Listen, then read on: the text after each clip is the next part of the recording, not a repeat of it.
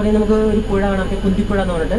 ആ കുന്തിപ്പുഴയിൽ ആയിരത്തി തൊള്ളായിരത്തി എഴുപതുകളിൽ കെ എസ് സിബിയുടെ ഒരു ഡാമിന്റെ പദ്ധതി ഉണ്ടായിരുന്നു. അപ്പം അന്ന് ഡാം ക്യാൻസലായി പോയി.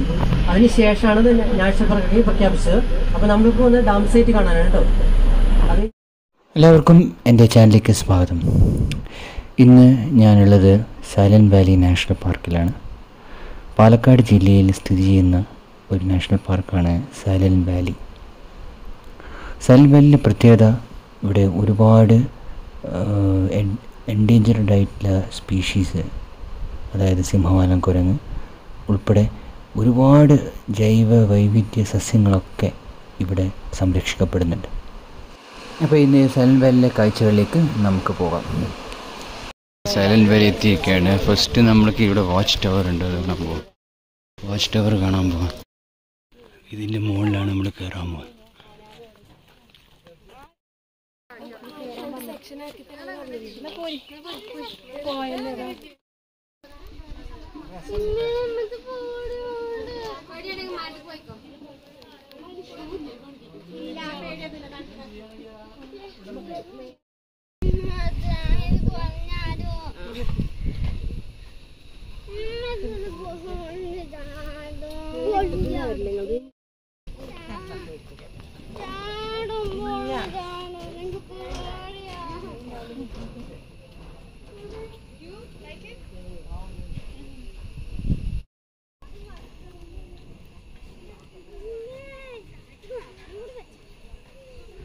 സൈലന്റ് വാലിയിൽ നിന്നുള്ള കാഴ്ചകളാണ്.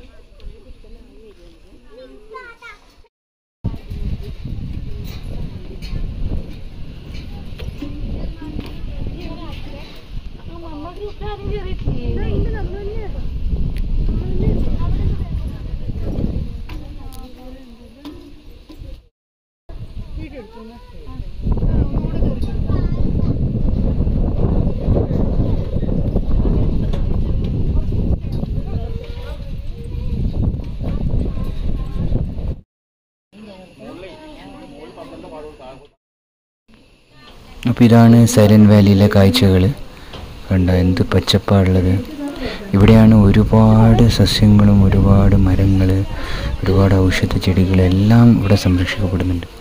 മൃഗങ്ങളിൽ ഏറ്റവും സംരക്ഷിക്കപ്പെടുന്നത് ഇവിടെ സിംഹവാലം കുരങ്ങ് തന്നെയാണ്. പിന്നെ ഇത് സ്ഥിതി ചെയ്യുന്നത് പാലക്കാട് ജില്ലയിലാണ്. ഇവിടെ എത്തിച്ചേരണമെങ്കിൽ നമുക്ക് പാലക്കാട് ഇറങ്ങിയിട്ട് പിന്നെ മണ്ണാർക്കാട് പോകണം മണ്ണാർക്കാട് പിന്നെ നമ്മുടെ ഫേമസായ അട്ടപ്പാടി ആ മേഖലയിലേക്ക് ബസ് കയറണം. അങ്ങനെ ആ അട്ടപ്പാടിന്റെ അടുത്ത് ആണിവിടെ മുക്കാലി ജംഗ്ഷൻ എന്നൊരു ജംഗ്ഷൻ ഉണ്ട്. നിങ്ങൾക്ക് മുക്കാലി ജംഗ്ഷൻ നിങ്ങൾക്ക് അറിയാമെങ്കിൽ ഒരുപാട് ഫേമസ് ആയ ഒരു സ്ഥലമാണ്. ഇതിനു മുമ്പ് ട്രൈബൽസിലെ ട്രൈബൽസിലെ മധുനര ഒരാളെ ഇവിടെ പിടികൂടിയിട്ട് മർദ്ദിച്ച് ആ ഒരു സംഭവം നടന്ന സ്ഥലമാണ് മുക്കാലി ജംഗ്ഷൻ. ആ മുക്കാലി ജംഗ്ഷന് ഇറങ്ങി അവിടുന്ന് വളരെ അടുത്താണ് ഈ ഒരു സൈലന്റ് വാലി ടിക്കറ്റ് കൗണ്ടർ. അപ്പോൾ അവിടുന്ന് നമ്മൾ നേരത്തെ കണ്ട പോലെ ബസ്സിൽ ഇവർ ഈ കാടിന്റെ ഉള്ളിലേക്ക് കൊണ്ടുപോകും. പിന്നെ ഇവിടുത്തെ പല കാഴ്ചകളും കാണും. അപ്പോൾ ഫസ്റ്റ് തന്നെ ഞാനിപ്പം കണ്ടത് ഈ വാച്ച് ടവറാണ് വാച്ച് ടവറിന് ശേഷം കുന്തിപ്പുഴ ആ പുഴേന്റെ അടുത്തേക്ക് ചെല്ലും. അപ്പോൾ പോകുന്ന വഴിയൊക്കെ ഇവർ ഇതിനെക്കുറിച്ച് വളരെ ഡീറ്റെയിൽ ആയിട്ട് ഇവർ നമുക്ക് പറഞ്ഞു തരും എന്തൊക്കെ സസ്യങ്ങളുള്ളത് എന്തൊക്കെ ട്രൈബൽസ് ഇവിടെ ഉണ്ടായതൊക്കെ പല കാര്യങ്ങളും നമുക്ക് പറഞ്ഞു തരും അപ്പോൾ ഇത്തിരി മനോഹരമായ കാഴ്ചയാണ് ഇപ്പോൾ ഉള്ളത് അപ്പോൾ ഈ കാഴ്ചകളൊക്കെ കണ്ടതിന് ശേഷം ഞാനിപ്പോൾ താഴെ ഇറങ്ങും. പിന്നെ നമ്മൾ ഇച്ചിരി ലഘുഭക്ഷണം ഉണ്ടാവും. അപ്പോൾ ക്യാന്റീനൊക്കെ ഇതിനുള്ളിലുണ്ട് ഫോൺ റേഞ്ച് ഇവിടെ ഉണ്ടാവില്ല. മാക്സിമം ജിയോ അല്ലെങ്കിൽ ബി എസ് എൻ എൽ ആയിരിക്കും കൂടുതലുണ്ടാവുക. ജിയോ കുറവായിരിക്കും. അപ്പോൾ മനോഹരമായ കാഴ്ചകൾ നമുക്ക് ഈ വാച്ച് ടവറിൽ കാണാം. ഇവിടുത്തെ പ്രത്യേകത മൃഗങ്ങളെ കാണലല്ല. ഈ പറയുന്ന ഒരു പച്ചപ്പും ഇതിന്റെ ഒരു ഒരു ഒരു വൈബ അനുഭവിക്കലാണ്. പലവിധ സസ്യങ്ങളൊക്കെ നമുക്ക് പല മരങ്ങളും കാട്ടിലെ കരിവേപ്പില കാട്ടിലെ ഈ പ്ലാവ് അങ്ങനെ ഒരുപാട് സംഗതികൾ നമുക്കിവിടെ കാണാൻ സാധിക്കും. അപ്പം ബാക്കി നമുക്ക് ഈ കാഴ്ചകളൊക്കെ കാണാം എന്നിട്ട് നോക്കാം പുഴ ഒഴുകുന്ന സൈലന്റ് വാലി എന്ന പേര് കയറാൻ കാരണം ഇവിടെ ചീവീടില്ല അതാണ് അവിടെ എന്ത് ഭംഗിയാണ്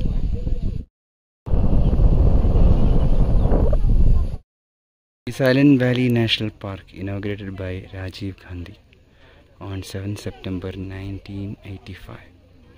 Presence of K. Karnagaran. അടുത്ത പരിപാടി കുറച്ച് ട്രക്കിംഗ് ആണ്. ഇവിടെ സൈലൻ വാലി എന്നറിയപ്പെടുന്ന കുന്തിപ്പുഴ ഒക്കെ ഉണ്ട്. അപ്പം അത് കാണാൻ നമ്മൾ പോകും. അവിടുത്തെ ചെറിയൊരു പാർക്കാണ്.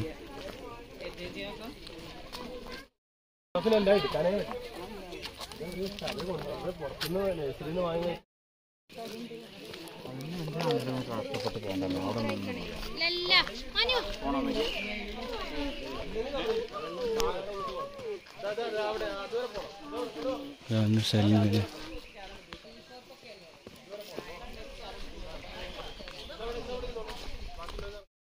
ആണ് ഇവിടെ ജസ്റ്റ് ഒന്ന് ബ്രേക്ക് ബ്രേക്ക്ഫാസ്റ്റ് മാതിരി ചായ ഇലയുടെയൊക്കെ കിട്ടും.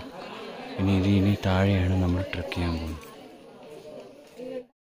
മെയിനായിട്ട് കുന്തിപ്പുഴ അങ്ങോട്ടേക്കാണ് ട്രക്ക് ചെയ്യുന്നത് ഇതുവഴിയാണ് തോന്നുന്നു. അല്ലല്ല അതുവഴി. ട്രക്കിംഗ് സ്റ്റാർട്ട് ചെയ്തിരിക്കുകയാണ്. സൈലന്റ് വാലി കാടിലേക്ക് സമയത്ത് ഇപ്പോൾ എന്തെങ്കിലും വിഷമൊക്കെ നമ്മൾ തട്ടുകയാണെങ്കിൽ ചില പാമ്പ് എന്തെങ്കിലും കടിക്കുകയാണെങ്കിൽ ഈ ഈ ഈ മരത്തെ ഇല കണ്ടില്ലേ? ഈ ചെടി. ഇതിന്റെ പേര് അല്പം എന്നാണ്. ഇതിലൊരു കായ ഉണ്ടാവുന്നത് ഈ കായ കണ്ടില്ലേ? ഈ കായ പെട്ടെന്ന് നമ്മൾ പൊട്ടിച്ച് എടുത്തിട്ട് ചവച്ചരച്ച് കഴിഞ്ഞാൽ ആ വിഷം പോയി കിട്ടും കേട്ടോ. അല്പം എന്നാ അതിന്റെ പേര് കേട്ടോ. അങ്ങനെ ഓരോ മെഡിസിൻ ചെടികളുണ്ട് ഇവിടെ. എന്റെ ഇൻ കേസ് എന്തെങ്കിലും പറ്റി കഴിഞ്ഞാൽ പെട്ടെന്ന് അത് പേരറിയില്ല പേരറിയത്തില്ല. ഇത് ഗ്രീൻ ഫോറസ്റ്റ് എന്ന് പറയും. ഈ ഒരു വേനൽക്കാലത്തൊന്നും പച്ചപ്പ് ഇവിടെയുള്ളത് ഈ സൈലൻ വാലി മാത്രം.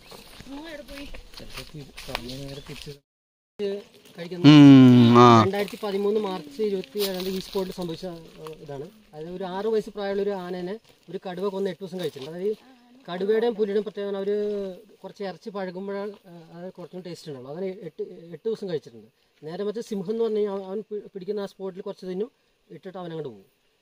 കടുവയും പുലിയും അത് ഇറച്ചി പഴകും തോറും ഇങ്ങനെ കഴിച്ചുകൊണ്ടിരിക്കും അങ്ങനെ എട്ട് ദിവസം കഴിച്ചിട്ടുണ്ട്. അതായത് ഒരു മാസത്തോളം ഈ ആനേനെ ഓടിച്ച ആന ആകെ അവശനായി. ആനയുടെ പുറകുഭാഗത്തു നിന്ന് അറ്റാക്ക് ചെയ്തു മലദ്വാരത്തിന്റെ അവിടെ. അപ്പോൾ ആനയ്ക്കൊന്നും ചെയ്യാൻ പറ്റില്ല. ആന പ- പണ്ടങ്ങളിലൊക്കെ വലിച്ച് പുറത്തിട്ട് ആനെ കൊന്നുവിടെ ഇട്ടു അപ്പോൾ നമ്മുടെ സ്റ്റാഫ് ഇങ്ങനെ ഒച്ചകിട്ട് വന്ന് നോക്കുമ്പോൾ ഇങ്ങനെ അലർച്ച ഇവിടെ കടുവ കൊന്നിട്ടേക്കായിരുന്നു അപ്പോൾ നമ്മൾ ഇവിടെ ക്യാമറ വെച്ചിട്ടുണ്ട് ട്രാപ്പ് ക്യാമറ നമ്മൾ ഈ അനിമൽസിന്റെ ഒക്കെ സെൻസർ എടുക്കുന്നത് ട്രാപ്പ് ക്യാമറ പിന്നെ അവരുടെ കാഷ്ടം ഇതൊക്കെ കൊണ്ട് സംഭവിച്ചത് അപ്പോൾ ഇങ്ങനത്തെ ഗ്രാസ് ലാൻഡ് ഏരിയയിലാണ് നമുക്ക് കടുവേനും പുലിനും ചാൻസ് കൂടുതലായിട്ടുള്ളത്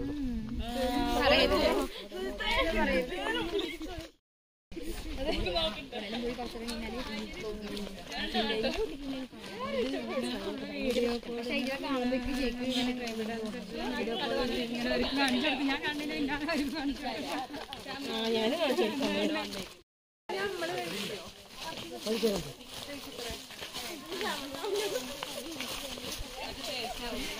മലമ്പുഴയായിട്ട് മുന്നോട്ടുണ്ടാവും അതിപ്പോൾ നമ്മളിപ്പോൾ ഏതെങ്കിലും മൃഗശാല പോലെ എ സി കാരണം മലമ്പുഴ ശ്രദ്ധിച്ചു നോക്കട്ടെ എ സിയിലാവാൻ കിടക്കുന്നത് രാജമല എ സി ക്ലൈമറ്റിൽ പോലെ ഇങ്ങനത്തെ ഭാഗത്ത് ഉണ്ടാവുള്ളൂ പക്ഷേ രാജമല ആൾ വരെ വളരെ സാധുവായിട്ടുള്ള പാമ്പാണ്. ഇപ്പോൾ നമ്മളിപ്പോൾ ഈ നടന്നു പോകുന്ന വഴിയുടെ സൈഡിൽ ആൾ കിടക്കുന്നുണ്ടെങ്കിൽ നമുക്കൊരു സിഗ്നൽ തരും നമ്മൾ നോക്കി കാണിക്കും ഞാനിവിടെ ഉണ്ടെന്ന് പറയുന്നത് നമ്മൾ മാറിപ്പോയി. ഇന്ന് അവരെ രാജമല വെച്ചിട്ട് ആരും മരിച്ചിട്ടുണ്ടെന്ന് കേട്ടല്ലോ രാജമലയുടെ വിഷം സ്പ്രേ ചെയ്തുകൊണ്ട് ഒരു സെക്കൻഡിനുള്ളിൽ മരണം സംഭവിക്കുന്ന പറയുന്നത്. ഭവാനിപ്പുഴ ഉണ്ട് നദിയാണ്. തിരിച്ചുകൊണ്ട് അവിടെ നമുക്ക് ഇറങ്ങുകയും ചെയ്യാം കേട്ടോ. ഒരു നൂറ് മീറ്റർ ദൂരമുള്ളൂ. ഭവാനിപ്പുഴ അങ്ങനെ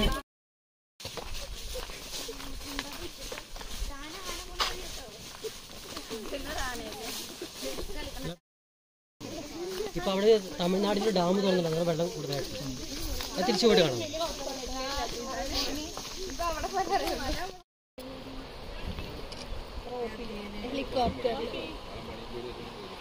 ഇവിടെ നിന്നാണ് കുഞ്ചിപ്പുഴ സ്റ്റാർട്ട് ചെയ്യുന്നത്.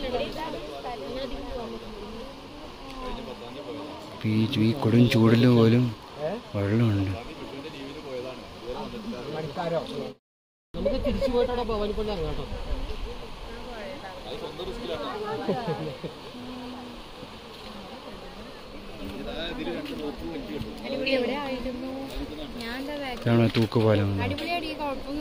രസമുണ്ടല്ലേ പോകാൻ കല്ലുകളൊക്കെ